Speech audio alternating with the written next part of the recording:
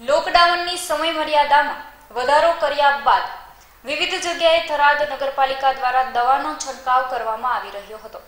નગરપાલિકા દ્વારા વિવિધ સ્થળોએ સેનિટાઈઝર દવાનો છંટકાવ કરવામાં આવ્યો હતો અને થરાદના ધારાસભ્ય ગુલાબસિંહ રાજપૂત, નગરપાલિકા ચીફ ઓફિસર સદસ્યો સહિતના લોકો ઉપસ્થિત રહીને દવાનો છંટકાવ કરવામાં આવ્યો હતો. અહેવાલ રાજેશ જોશી